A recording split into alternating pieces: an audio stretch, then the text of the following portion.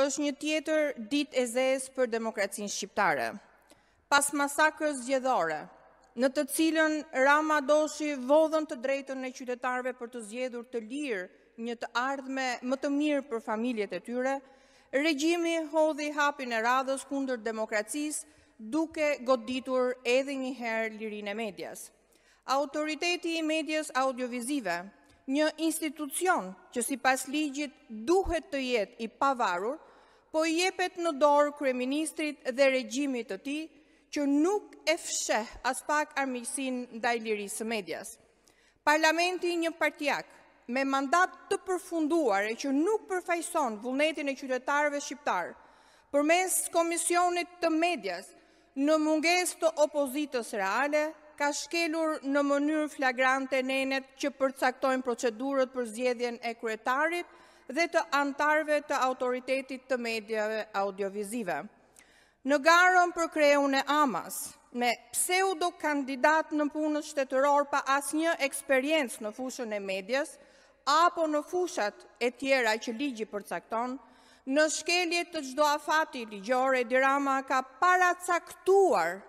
zëdhënësen e tij dhe të PS-së për këtë post.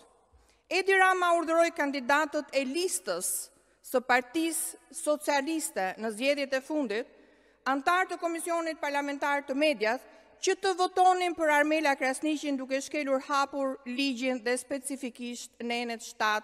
tetë, që përcaktojnë papajtueshmërinë dhe konfliktin e interesave.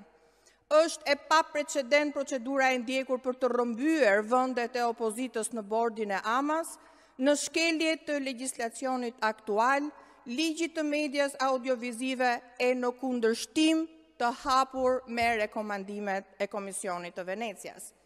Ky akt godet në zemër lirinë e medias, duke e kthyer institucionin e AMA-s në zgjatimin e partisë shtet,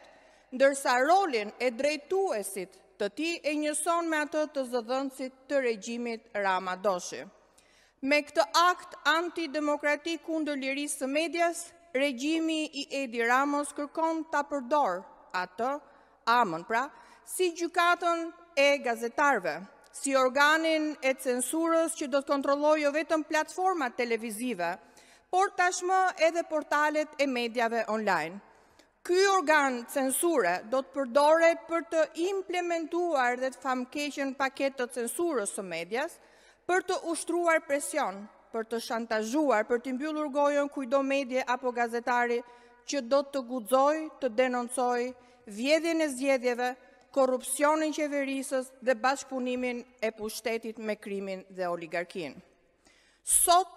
çdo shqiptar që kërkon një Shqipëri më demokratike, një Shqipëri më pranë Bashkimit Europian, duhet të ndjehet i shqetësuar, sepse me këtë akt kundër lirisë së medias Kundër institucioneve të pavarura, demokracia është edhe më e rrezikuar, ndërsa Bashkimi Europian do të mbetet një destinacion politik edhe më i largët. Sot është koha që të gjithë të reagojnë, të gjithë gazetarët, mediat, institucionet që monitorojnë lirinë e shtypit në Shqipëri, Kapja e AMA-s paralajmëron kalimin dhe miratimin në Parlament edhe të paketës së censurës së medias online që do t'i mbyllë gojën çdo medie të pavarur dhe kritike të Edi Ramës dhe qeverisjes së tij. Pa media nuk ka demokraci. Të mos heshtim para se të jetë tepër vonë. Partia Demokratike kërkon që të ndalet me urgjencë ky akt antiligjor, antidemokratik i një parlamenti monopartiak.